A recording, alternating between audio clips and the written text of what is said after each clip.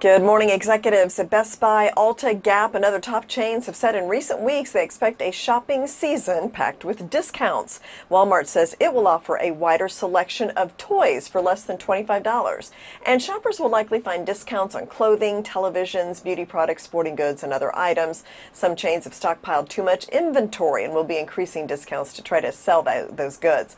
Well, Disney is exploring a membership program like Amazon Prime to offer discounts and perks. The Wall Street Journal Reports the entertainment giant is looking to package streaming, parks, and merchandise together, and they're aiming to add commerce features to Disney Plus. Well, investors are happy to see August in the rearview mirror. All the major indexes closed down yesterday and down about 4% for the month but September is historically the worst month of the year for stocks.